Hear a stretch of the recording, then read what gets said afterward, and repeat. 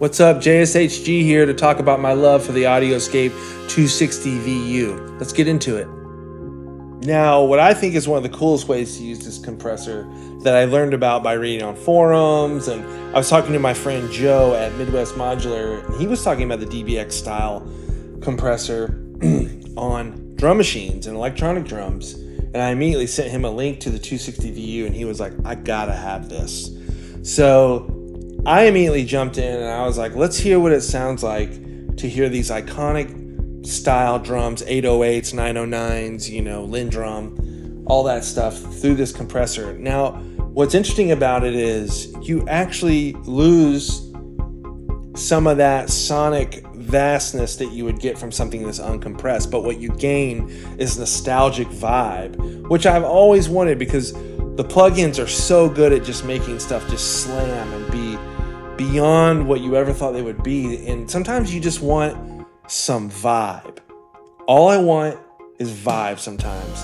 And this is one of those compressors that I can run anything through it, and I'm just like, oh, that's what I needed. 260 VU to the rescue.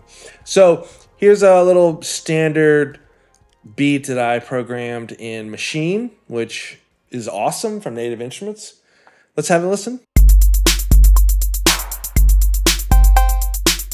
So classic 808, you know, roller skating rink, shuffle skating, you know, whatever, Public Enemy, all these different things that are so sick. So many people use 808s in such creative ways.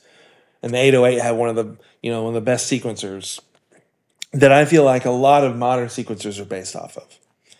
So let's jump up here and throw this 260 VU on and let's have a listen to how it grabs that low end.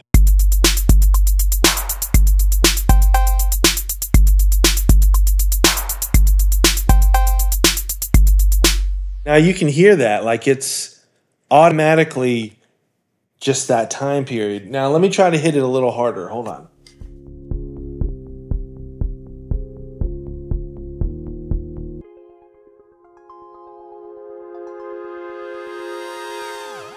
Now this is gonna be hitting harder. Here we go.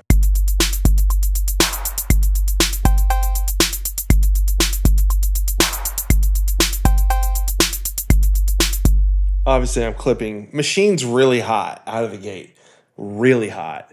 So I could turn it down, but it sounds cool. Let's try a different kit. Uh, there's another one down here I really like. I think it's this one. Let's hear it without it.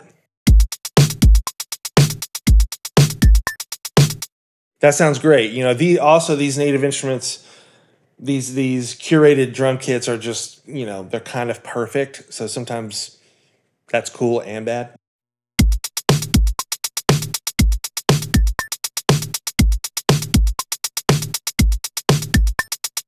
I mean, that's kind of sick in my my opinion. I I just feel like it sounds like a time period, which I love, and we can apply it to our modern recordings. Uh, let's see if there's another kid in here I can't live without. Trip Trap. All right, let's hear it without it.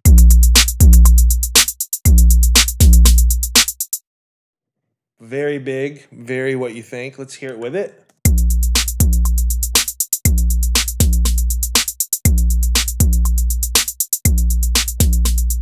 And you can see what I'm talking about. It just sounds like 89 to like 92. Like I feel like I'm roller skating. Backwards, spaghetti legs. Anyway, super sick, so great on things like this. All right, obvious ways of using the Audioscape 260 VU drums percussive, anything that hits hard. Um, it's so good at that. Now, it, it does have a thing that grabs so much that you do lose a little bottom end, but I think it's really cool. Um, this is the Norma Jean record, record Deathrattle uh, Sing For Me that I did. Let's listen to these drums.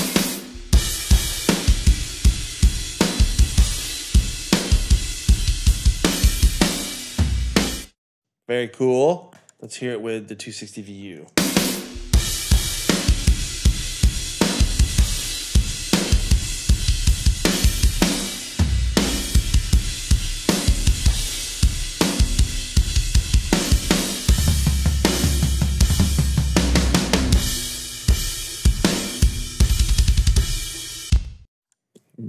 guys.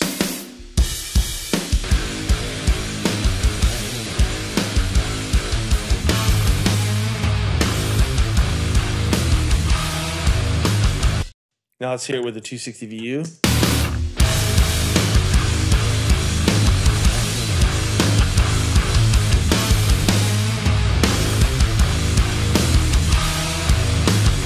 Now on this record, I really wish I had had the 260VU because we were going for just like chaos, real sounding, heavy band, you know, just noise. Ugh. And I feel like it would have really have applied to a lot of things really well.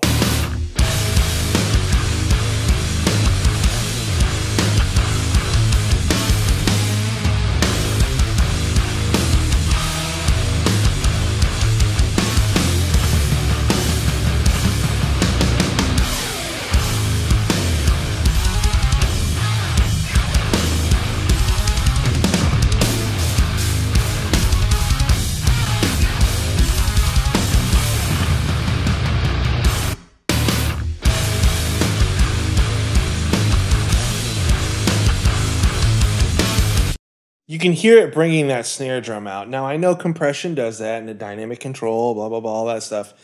But this does it in a cool way. And I told Chris once from Audioscape that it's EQing things for me without me having to do anything, which I love. And you can hear it here. So listen again, pay attention to the snare and like that high mids.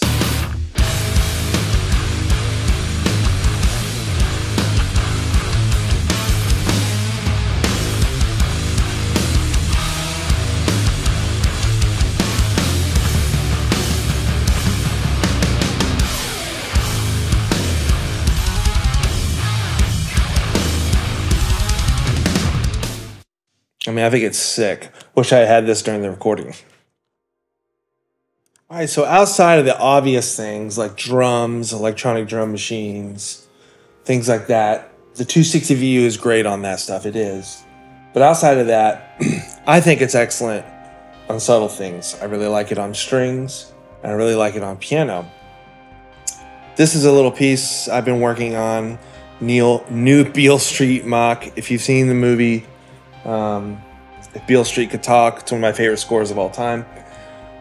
And I'm forever trying to copy it, so I'm sorry. Um, but let's listen to the piano here.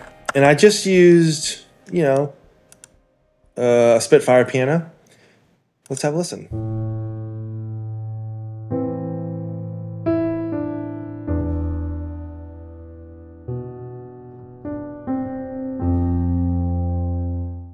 So this piano is sampled very well, so it sounds really good. So I feel like we'll be able to bring out some of the nuances. Let's enable the 260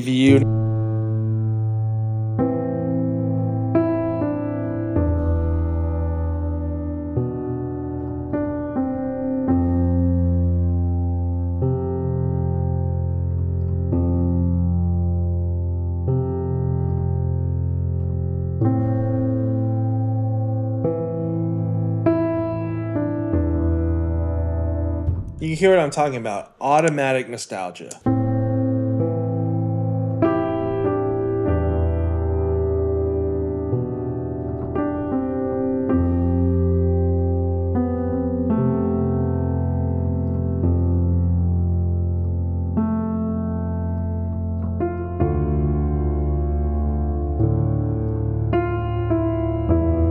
Just really nice, really good on piano.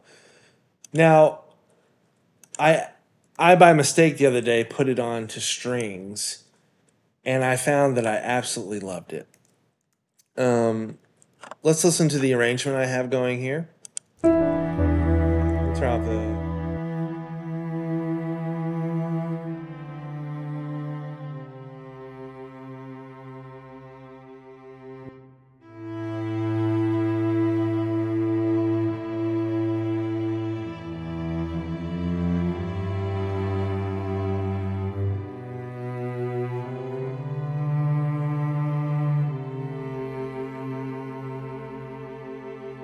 It's really nice.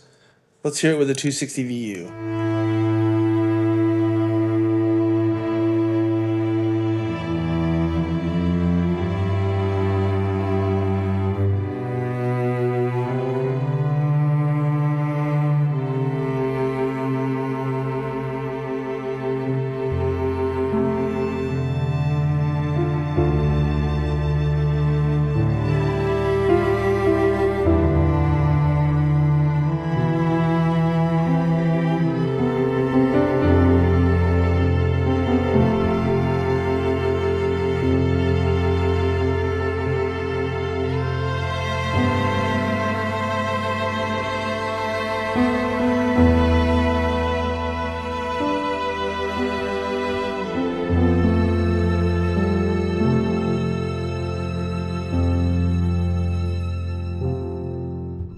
Now, I find that an interesting example because I'm slamming it.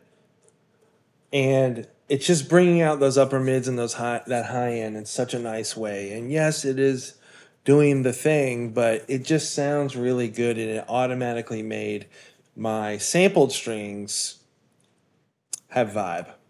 And I think that's super cool. All right, in this section, it's just a little bit more of a, a faster section. So let's have a listen to it without the 260 VU.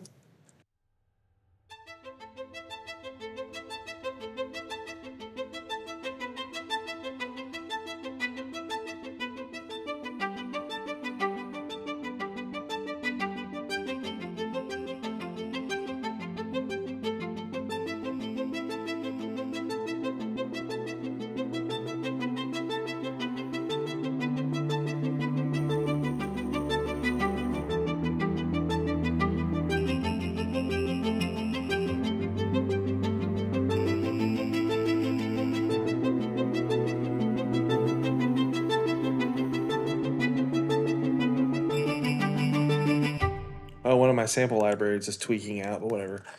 Let's go down here to where it gets kind of intense.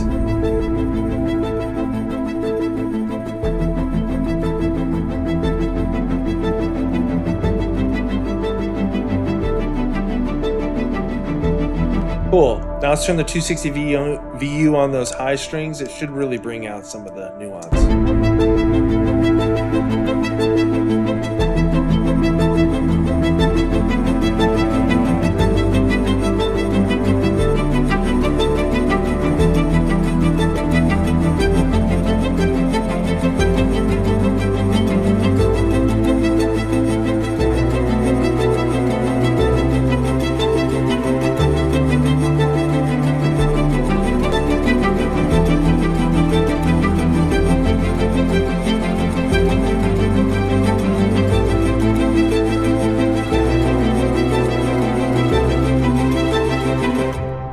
See, it's wonderful on strings too.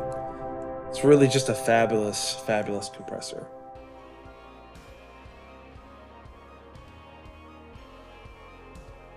So I really love the 260 VU2 on vocals. Now this is a recording I did a while ago, and yes, I did not have, or no, I did not have the 260 VU at this at the time, but it's a great example. The artist is Gasoline Heart, and uh, it's a great way to show you how good this is on a vocal bus. So let's do it without it first. I'm heading on to the future. Not interested in starting fights. There's no such thing as no such thing. One of these days, maybe I'll get it right. So sick. Now let's hear it with it. I'm heading to the future. Not interested in starting fights. There's no such thing as no such thing. One of these days, maybe I'll get it right. Now, one thing I really like doing is I always like to have a compressor on my vocal bus post effects because for whatever reason I like to hear the effects pumping as well. I think it's really cool. Let's go to a chorus and listen to these.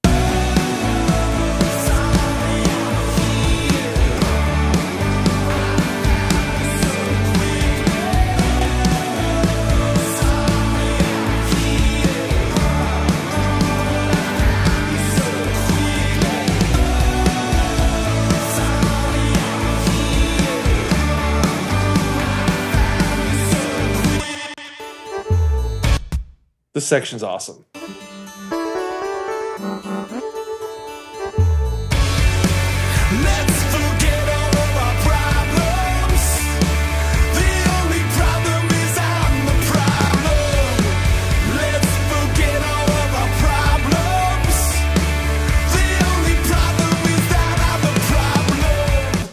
Now you can hear it's just kind of finishing it for me. It's EQing it, it's compressing it. Doing all these things. It's like spatially doing some wild stuff. It's just a really cool compressor, and I wish everyone could have one. I think it's awesome. It's awesome on vocals too.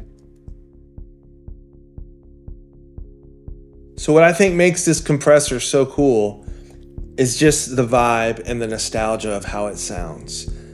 I think if you had this, you could apply it to many things going in. You could process things through it just to give it a different feeling, a different edge that we need sometimes, especially in digital recording. Plugins are amazing. I love them. I have them all. I'll forever love them. But there's something about running through these hardware units that is just inspiring and fun. So I encourage you to try something out or any kind of hardware just to push yourself further and uh, be inspired in your recording. Thanks a lot.